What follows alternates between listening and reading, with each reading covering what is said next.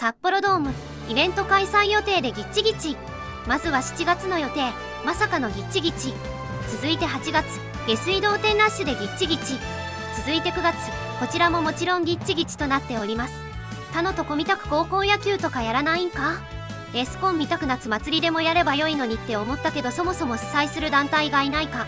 エスコンがあるのに日ハムは最下位これなんで。サッカーの試合毎日やればええやん。また対立王り好きですね。こういうネガティブな話題。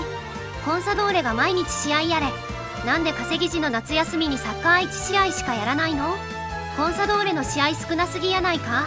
リーグ戦が週1やとしてもホームアウェーで月2回は試合あるはずでは？社会人野球あるのか？あの規模で他から野球量のグラウンドに変えるの人員もそうだし結構大掛かりになるんだろうな。というかエスコンいつ使わせてくれるん？コンサを新球場で応援したいんだけど。毎日下水道店やれ。